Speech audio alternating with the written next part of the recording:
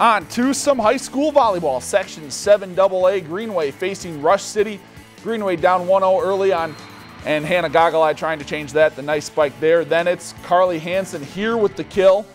And then Drew Faust with the spike and deflection for the point right here.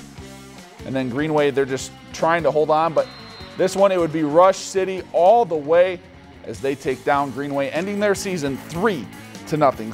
If you've enjoyed this segment of Lakeland News, please consider making a tax-deductible contribution to Lakeland Public Television.